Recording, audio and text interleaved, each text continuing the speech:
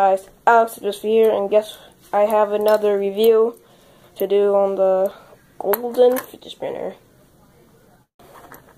I got this on Amazon. It was about three dollars, which is, I think, oh, three dollars. I don't know. If it was three dollars, we definitely need to get our money back. So like,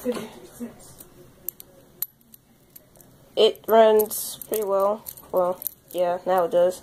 So I kind of fixed it. And this is what it's supposed to spin. I'm gonna, you know. Find the location. Alright.